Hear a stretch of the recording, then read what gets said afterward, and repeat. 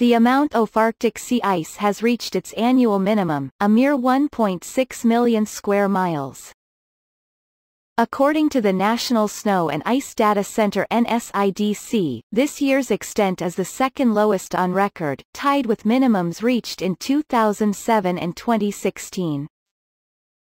Since satellite records have been kept beginning in the late 1970s, NSIDC reports that the 13 smallest sea ice minimums have all occurred in the last 13 years.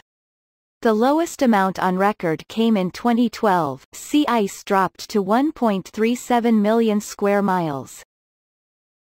The sea ice minimum area has declined 12.8% per decade over the past 40 years, which scientists believe is partially a result of climate change. A study published last month claimed that sea ice in the Arctic could completely disappear each summer through September if average global temperatures increase by as little as 2 degrees Celsius.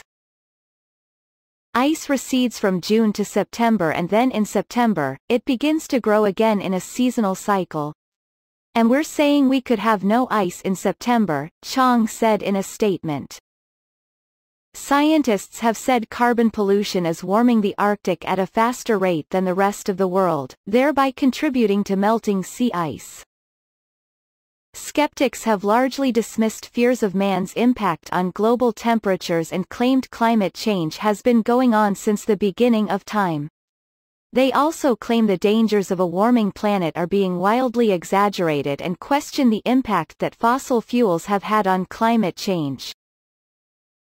Fox News' Chris Ciaccia contributed to this report.